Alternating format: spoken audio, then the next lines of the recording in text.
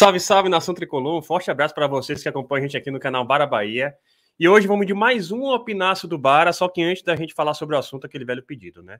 Deixa o seu like, quem gosta aqui do nosso conteúdo, se inscreve no canal, ativa as notificações e compartilha com geral aí para a gente estar tá reforçando os números do nosso Esquadrão de Aço na mídia independente, que fala muito sobre o Bahia, de torcedor para torcedor. Mas vamos ao assunto de hoje, né? Assunto do momento aí, cobertura aí do GE e de Ulisses Gama aí também do Bahia Notícias o Bahia, através de Guto Ferreira, teria afastado alguns jogadores do seu elenco principal.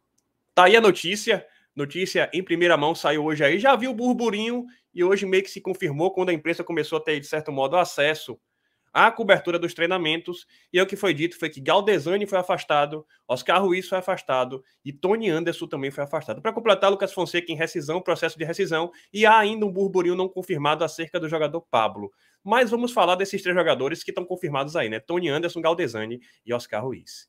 Primeiro ponto a se destacar é que são jogadores que tiveram oportunidade. A gente vê aí que Tony Anderson e Galdesani tiveram 25 jogos pelo Bahia, ainda que, obviamente, entrando muito, não jogaram 90 minutos, claro. E Oscar Ruiz teve 33 jogos. Então, o primeiro ponto é que não podem reclamar da falta de oportunidade. De todo modo, é bom destacar para a torcida o seguinte: esses jogadores, ainda que a gente não tenha ficado satisfeito com o desempenho deles, eles têm contrato com o Bahia e o Bahia não pode afastar sem deixar de pagar o que deve pagar por mês. E aí a opção é somente uma ou consegue entrar em acordo com esses atletas para abreviar o contrato, ou aí tem que pagar até o final do contrato, não tem jeito. E quando a gente pensa em herança maldita, tem que ter cuidado para evitar agir aí no calor da emoção e construir uma dívida que, médio prazo, aí pode ser pesada para o nosso tricolor de aço. Agora, outro ponto a se destacar é que Guto Ferreira ele não surpreende nesse ponto. Se a gente se recordar em 2016, quando ele chegou no Bahia aqui para fazer uma limpeza no elenco, ele chegou chegando também, afastou alguns jogadores também naquela oportunidade. Eu lembro de Rainer, lembro de Danilo Pires, entre outros atletas. Então, ele é um tipo de treinador que é de atitude. A gente percebe que ele mal teve tempo para treinar esse elenco, mas nos pouquíssimos dias aí de treinamento, ele já chegou deixando claro com quem ele pode contar, com quem ele não pode contar. É aquilo é melhor enxugar o elenco, aproveitar até para dar espaço para alguns jogadores do time de transição que podem agregar muito mais do que ter jogadores que acabam minando o perfil do elenco, minando o clima do elenco, e aí ele toma uma atitude de afastar atletas, que inclusive estava até como titulares com o último treinador, né? Vídeo Oscar Ruiz, que era titular no time de Dabov.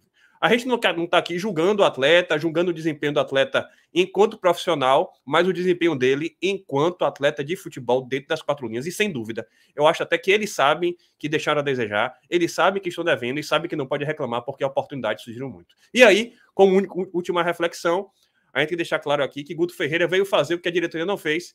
Claro, o treinador ele tem mais liberdade, a alçada é dele para fazer essa opção técnica é, e Guto Ferreira fez essa opção técnica para deixar claro que tem jogadores que não tem ciclo aí a continuar pelo Bahia. A gente tem que enxergar como ciclo encerrado e de repente esses três aí foram afastados com este objetivo. Galdesani deve ir para algum clube, já está praticamente aí encaminhado em acordo. Tem mercado aí com alguns clubes, de repente algum clube na Série B contrata Galdesani. Tony Anderson, jogador emprestado, de repente até volta para o Bragantino, não se sabe ao certo. E Oscar Ruiz, o que se diz é que o Bahia pode procurar um mercado para ele aí, dentre os clubes do futebol sul-americano. Se vai acontecer, são outros 500. Fato é que eles têm contrato até então, e afastado não significa desligado do Esporte Clube Bahia. E aí, a gente vai acompanhar as cenas do próximo capítulo. É isso, galera.